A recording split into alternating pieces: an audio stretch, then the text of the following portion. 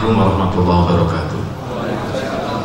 Peserta seminar yang kami muliakan, terutama narasumber yang kami hormati muliakan. Beberapa hal yang patut menjadi catatan kita bersama, khususnya di Temanggung, adalah bahwa pertama kali muncul CRA. Ini mesti akan mengganggu kemapanan para dukun-dukun yang ada di Kabupaten Temanggung. Akan muncul sebuah penolakan karena mereka sudah merasa nyaman. Yang biasa dapat gudang garam, akhirnya hilang gudang garamnya. Banyak fenomena itu yang muncul akhirnya menjadi sebuah antitesa pergerakan dari CRA, perlawanan. Kira-kira ini muncul CRA baru mesti akan mengganggu kemapanan para kiai-kiai suluk yang ada di Kabupaten Temanggung. Oleh karenanya ada beberapa strategi Strategi yang pertama adalah selesaikan dulu. Selesaikan dulu terkait munculnya sebuah rivalitas antara JRA dengan dukun-dukun lama. Dalam hal ini kita harus mengambil satu sampel dukun yang paling punya bendera tertinggi itu siapa di Kabupaten Temanggung. Akhirnya kita ambil seorang tokoh namanya Kiai Maftuh Anuti, beliau yang hadir. Kalau beliau sudah taslim, kalau beliau sudah taslim, beliau sudah mengakui keberadaan JRA maka insya Allah dukun-dukun amatir yang lain akan taslim itu yang pertama kita selesaikan rivalitas di antara JRA dengan dukun lama. Yang kedua adalah mengintegrasikan gerakan JRA ini dengan gerakan Nahdlatul Ulama PCN dalam hal ini kami langsung menempatkan posisi JRA ini di bawah satu lembaga. Karena bidang garapnya hampir sama dan garap dalam rangka membumikan NU ideologinya di lembaga dakwah ini hampir sama. Oleh karenanya langsung kita mengeksekusi program Aswaja ini ada di bawah naungan lembaga dakwah. Oleh karenanya PCNU ketika ada CRA melakukan rukyah massal, maka itu merupakan bagian dari kegiatan Nahdlatul Ulama. Kita payungi dan semua pengurus cabang, pengurus MBC maupun tingkat ranting harus samik nawa atau dengan gerakan yang dilakukan JLA. Karena itu adalah bagian dari gerakan cabang Nahdlatul Ulama. Yang ketiganya, yang perlu dilakukan adalah melakukan restrukturalisasi JRA.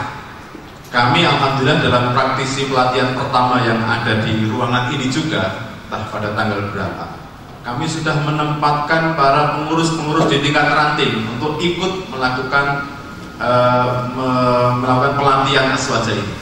Jadi praktisi-praktisi yang lahir di Kabupaten Temanggung itu tersebar di 289 desa yang ada di Kabupaten Temanggung. Artinya setiap desa itu alhamdulillah hari ini sudah ada praktisi CRA-nya. Dalam rangka inilah kemudian setiap ada kegiatan MBC melakukan ahad pagi, kami langsung melakukan praktek massal, e, praktek rukyah massal yang ada di setiap MBC. Kami punya program namanya ahad pagi. Setiap ahad pagi, alhamdulillah hari ini sudah ada praktek rukyah massal di setiap kecamatan-kecamatan yang ada di Kabupaten Temanggung.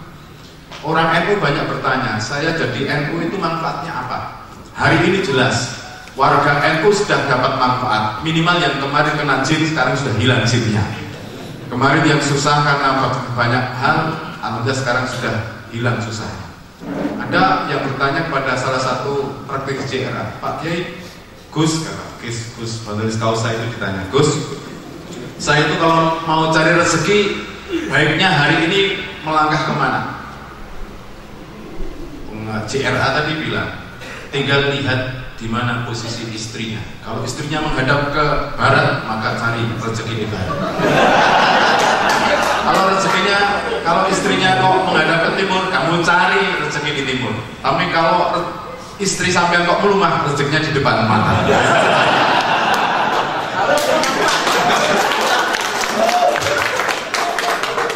Itu salah satu bahwa kami sudah melakukan kegiatan rupiah ini di desa-desa Alhamdulillah setiap desa, setiap ranting kita sudah ada CRA dan ini perlu dijadikan contoh. Yang terakhir adalah jelas dalam rangka membangun CRA ini harus ada peningkatan citra diri CRA. Bagaimana agar CRA ini mempunyai kemampuan, mempunyai tingkat lobby sampai ke tingkat cabang agar diterima oleh cabang masing-masing. Karena saya kemarin diskusi kita banyak menyampaikan bahwa tingkat cabang-cabang NU yang lain belum welcome dengan JRA. Ada yang sudah ridho tapi ridhonya bisuktin kira-kira gitu. Oleh karenanya citra diri JRA harus ditingkatkan. Ada yang kemarin melafatkan ayat-ayat Quran belum begitu fasih, Gus.